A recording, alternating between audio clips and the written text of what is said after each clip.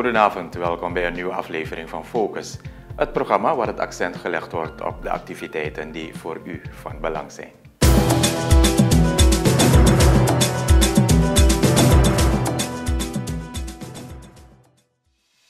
Vandaag in Focus, nieuwe medisch- en advocatentuchtcolleges een feit, Surinaamse studenten in Rusland tot nu toe veilig, dispensatieregeling vanwege opheffen lockdown niet meer van toepassing, ruim 280 recruten starten basispolitieopleiding en Surinaamse ondernemers in Guyana hoopvol gestemd.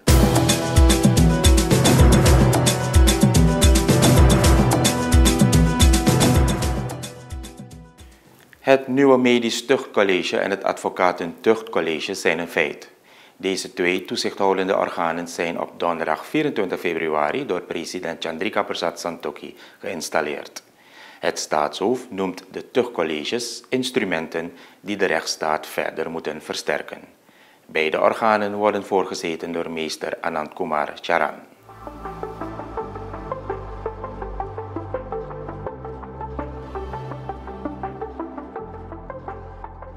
Dat ik mij bij mijn rechtspraak zal laten leiden door het algemeen belang en in ieder bijzonder geval mijn ambt zal vervullen zonder aanzien des persoon. Meneer Sharan, wat heeft vandaag precies plaatsgevonden op het presidentieel paleis? Oké, vandaag heeft de beëdiging plaatsgevonden van het Medisch Tuchtcollege en het Advocatentuchtcollege. En de beëdiging houdt dus in dat we in handen van de president van de Republiek Suriname de belofte dan wel de eed afleggen.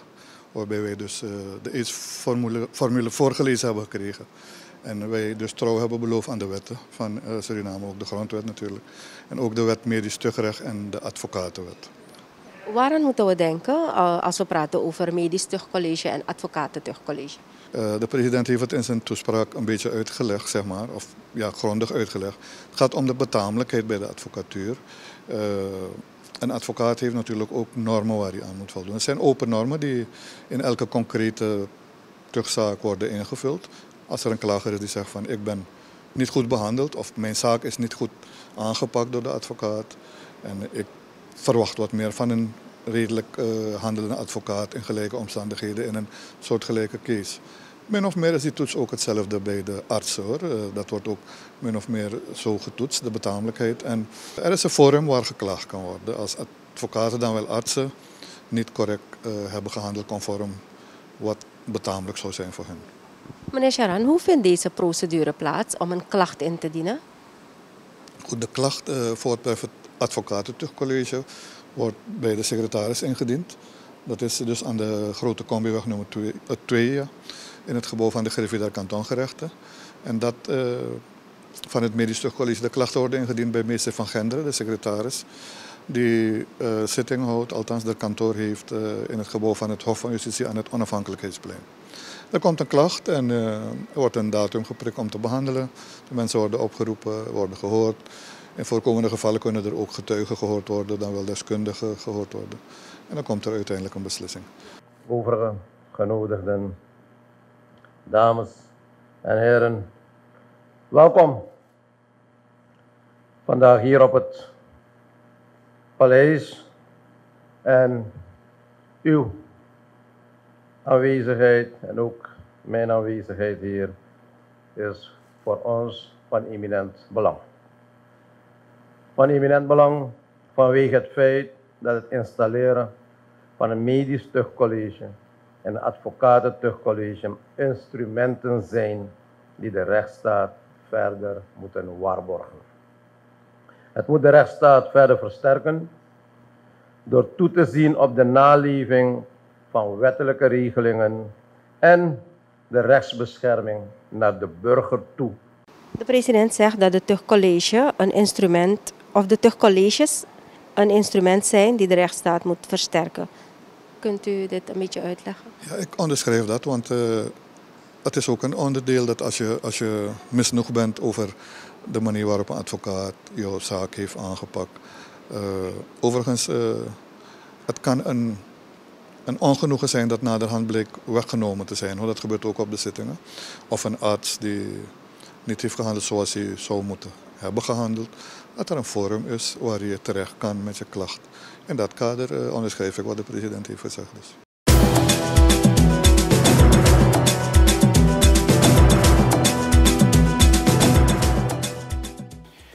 Er is tot op dit moment geen gevaar voor Surinaamse studenten in Rusland en Servië. Deze geruststelling gaf minister Albert Ramdin van Buitenlandse Zaken tijdens een op donderdag 24 februari belegde persconferentie. De bewindsman reageerde op een vraag naar aanleiding van het binnenvallen van Oekraïne door Rusland, waardoor er in dat deel van Europa sprake is van een oorlog. Wij hebben voor zover wij weten en voor zover dus officieel is geregistreerd, wij hebben geen studenten op dit moment in de Oekraïne. Als er daar studenten zijn, zijn ze daar op eigen gelegenheid, daar hebben wij geen weet van. Als we daar weet van hebben en er ontstaat een situatie, dan hebben we natuurlijk uh, de plicht om zeker daar naar te kijken. En dat zullen we zeker ook doen als het om Surinamers gaat. Uh, we hebben wel studenten in Servië, ik dacht zo'n 18 studenten. En we hebben zo'n 6 studenten in Rusland. Um, maar Rusland is erg groot. Het gebied waar we nu over praten, dat in conflict is, is ver van de locaties waar onze studenten zitten. We hebben gisteren via de app contact gehad met zeker vijf van ze en allemaal hebben aangegeven dat zij niks merken, dat het leven gewoon doorgaat en dat er dus geen gevaar is voor hun. Als dat wel het geval zou mogen zijn, dan gaan ze ons via de app ook mededelen. En dan zullen we daar op een passende wijze op reageren. Dus dat is ten aanzien van de studenten en uh, in dat gebied. Studenten in Servië lopen ook in gevaar op dit moment, zoals het is. Het is geen regionaal conflict, het is een bilateraal conflict op dit moment.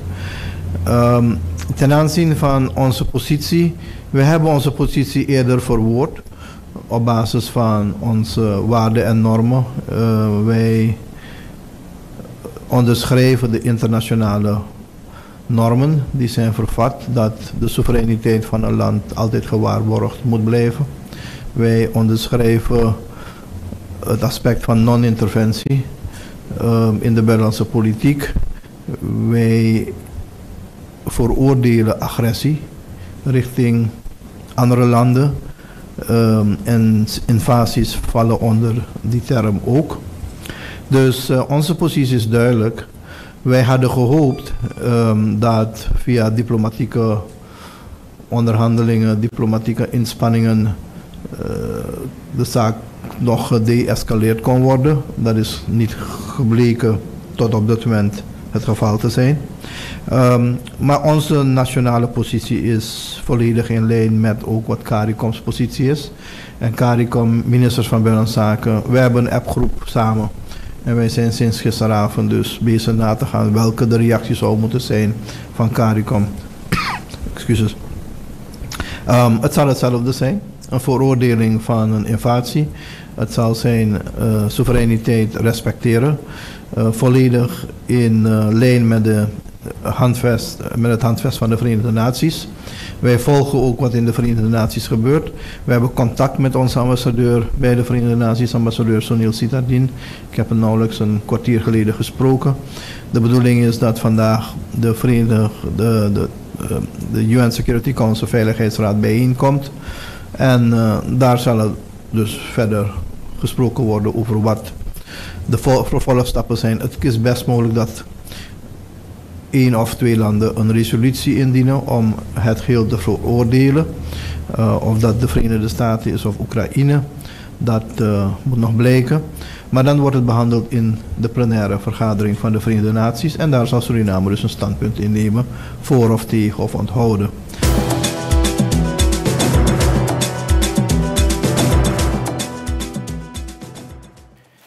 Met het opheffen van het uitgangsverbod is ook de dispensatieregeling niet meer van toepassing. Dus een ieder is vrij zich over straat te bewegen. Zo sprak minister Kenneth Amoxie van Justitie en Politie tijdens een op zondag 20 februari 2022 belegde persconferentie. De bewindsman doet een beroep op de samenleving geen misbruik te maken van de versoepeling en zich verantwoordelijk te gedragen. We hebben een wet uh, burgerlijke uitzonderingstoestand COVID-19. Uh, die is voor het laatst op 9 augustus 2021 verlengd met een jaar. En uh, dus eigenlijk zou het uh, expireren in augustus 2022, 9 augustus 2022. Daaraan verandert voorlopig niets. We hebben de sturing, de wettelijke regelingen, de maatregelen die getroffen zouden moeten worden, worden dus uh, gemanaged middels het uh, presidentieel besluit. En mochten er veranderingen op, optreden, zich voordoen, dan zal het presidentieel besluit sowieso worden aangepast. dus wat nu? Volksmond, in het volksmond is het bekend avondklok, dus dat is, wordt nu opgeheven. Dat betekent dat ook uh, die dispensatieregeling niet meer van toepassing is. Dus en ieder is vrij zich te bewegen uh, over straat, de openbare weg. Uh, wat ik wel wil meegeven, eigenlijk wil ik een beroep doen op de samenleving. Ik wil de samenleving aanmoedigen om uh, geen misbruik te maken van de versoepelde maatregelen en uh, zich verantwoordelijk uh, te gedragen. Omdat we weten niet hoe het virus zich verder zal ontwikkelen. Internationaal zien we wel dat, dat de besmettingen teruglopen. laat me aangeven dat de bedoeling van het uitgangsverbod, waarom het was ingesteld, is niet, het was niet bedoeld voor de criminaliteitsbeheersing, bestrijding, maar om de mobiliteit van het virus uh, terug te dringen. En wanneer die noodzaak er niet meer is, dan kunnen we ook geen gebruik maken uh, van het uh, uitgangsverbod. dat wil zeggen, men zegt van ja, er zijn vragen gesteld Denk u dat uh, de, uh, de criminele wereld uh, zal trachten een rebound te doen? Ik hoop het niet, want de politie blijft waakzaam en dienstbaar. sowieso in aanloop daarna zijn er bepaalde maatregelen getroffen.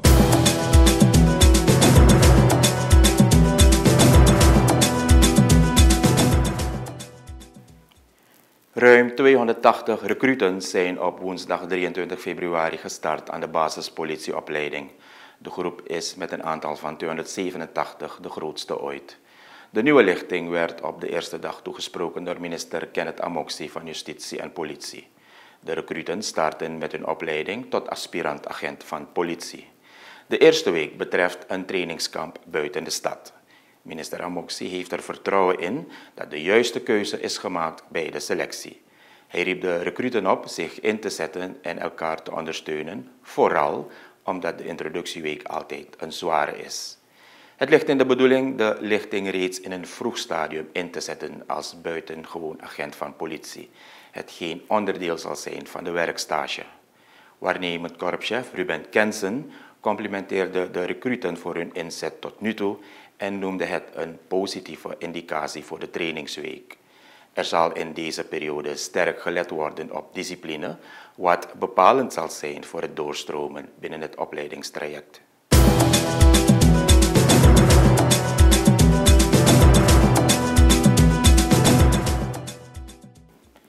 Surinaamse ondernemers in Guyana zijn onder de indruk van de huidige ontwikkelingen in het buurland. Zij maken de transitie vanwege de olie- en gasindustrie van dichtbij mee en zijn hoopvol gestemd over de groei die deze sector ook voor Suriname teweeg zal brengen. Wij spraken twee ondernemers tijdens het meest recente bezoek van president Santoki aan Guyana. We zijn in Guyana en op eh, de ondernemersavond treffen wij natuurlijk Surinaamse ondernemers. Mag ik vragen wie u bent? Um, ik ben Gerlis Pelsoik. Wat doet meneer Pelswijk in Guyana? Um, ik ben een airconditioning contractor hier. Ik heb mijn eigen bedrijf. Ik woon hier al bij kans 11 jaar. Mm -hmm. En ja, het gaat goed tot nu toe. Ups en downs, but it's going. Wat vindt u ervan dat president Santoki vanavond heeft besloten om zelf met de ondernemers te komen praten? Ja, ik vind het uh, zeer goed. Ik bedoel van kan misschien over uitbreidingsmogelijkheden praten. Misschien wanneer de oil en gas sector in Suriname ook booming wordt, misschien dat ik daarheen kan gaan om te zien wat voor opportunities daar zijn ook. Mm. Nice, nice. Ja, nice. ja. Mm. U heeft de groei gezien van Guyana uh, met oil en gas. Denkt u dat Suriname diezelfde groei ook kan meemaken? Zeker weten. Als uh, alles met uh, de contracten met die grote olie nationals dus goed aangepakt wordt, denk ik. Want in mijn tien jaar heb ik echt uh, een verandering gezien hier in Guyana. Van wat het toen was en waar we nu zijn, denk ik wel dat Suriname hetzelfde gaat ervaren. I think it's a wonderful gesture. I mean, I'm here um, primarily to reach the president. I had the opportunity of having a photo with him. Um, I've heard a lot of him being part of a Suriname company. Um, he's a wonderful individual, very friendly, very knowledgeable. He's doing a fantastic job, I'm told, in Suriname. Um, him coming to Guyana and be, be so friendly and becoming one and try to be, uh, you know, operated with us as a people, it's fantastic. I mean, we, we see it. We, we, this is not the first time he's here. He's made a fantastic impression the first time he was here, and we welcome him here. It's very good that he's here also, and that, uh, yeah, both our countries are going to be oil producing, maybe Guyana firstly. Suriname very shortly, we were just having a discussion. And him coming here now is just showing us that collaboratively we can achieve a lot. Uh, we have that discussion in terms of the bridge that we're thinking about building that will make us one country, I think, in, in many ways that we can help each other to grow more. We're so small population, but together we are stronger. So him coming here is just showing us, yeah, you know, I, am who I am. This is the, the, um, how simple and wonderful he is. So we can understand the president that we're, we're going to actually collaborate with. It's just not a name and a picture, but an actual face and an individual. So I think it's a wonderful gesture and we welcome him. Oil and gas is very new to Guyana. We are still finding our way. I mean, the current administration is doing a fantastic job so far, but we are finding our way. So we need exports in every possible area to make us make the best of what we have. So I think we are welcoming the, the, the persons from Suriname, even Trinidad, wherever we are, to help us harness what we have to make it a big success. So it's, uh, I think it's a win-win, mutually benefit from both parties that we are earning as a country, the experience, um, in many ways developing the country, and at the same time, developing that international company who can give back so much. So I think it's a very good thing. I mean, Surya, I can say, mention, I have to put that in. As Surya came to Guyana, 10, this is our 10th year in Guyana. We came not knowing that oil was going to be here. We came here to fill a gap, and we are very fortunate that oil actually reaches here. And we are benefiting, and we are absolutely you know, ecstatic about it. But yeah, the other countries, we need them, and we're more than happy to welcome them with our local content policy to build mutual benefit.